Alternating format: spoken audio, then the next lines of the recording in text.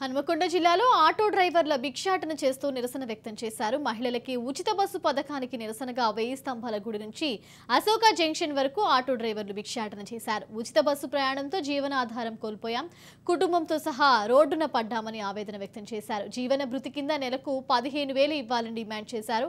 Auto డ్రైవర్ల సంక్షేమ బోర్డును ఏర్పాటు చేయాలని ప్రభుత్వానికి వినతి పత్రం అందజేశారు.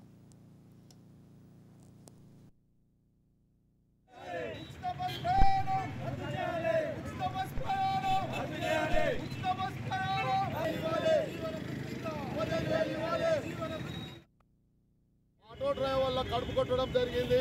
అదేవిధంగా రేవంత్ రెడ్డి గారికి విన్నవించుకుంటున్నాం. మా ఆటో కార్మికులను వెంటనే ఆదుకోవాలని కోరుకు కోరుచున్నాము. అదేవిధంగా ఆటో డ్రైవర్లకు నెలకు పదిహేను వేల రూపాయలు ఇవ్వాలని మేము డిమాండ్ చేస్తున్నాం.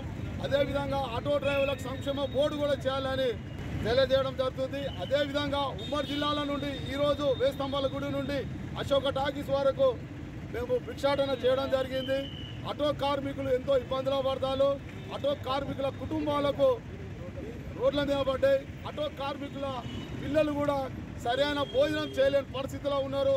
దయచేసి రేవంత్ రెడ్డి గారు మీకు మరోసారి విన్నవించుకుంటున్నాం. మా పిల్లలకు ఫీజులు కడదామన్నా కూడా మాకు వెళ్ళలేని పరిస్థితి.